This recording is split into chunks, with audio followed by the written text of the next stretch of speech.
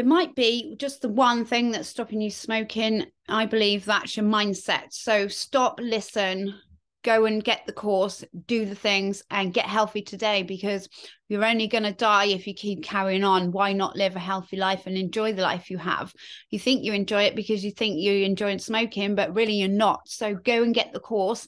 I can help you change the mindset because that's what I needed. So I'm sure that you, you're what you need too.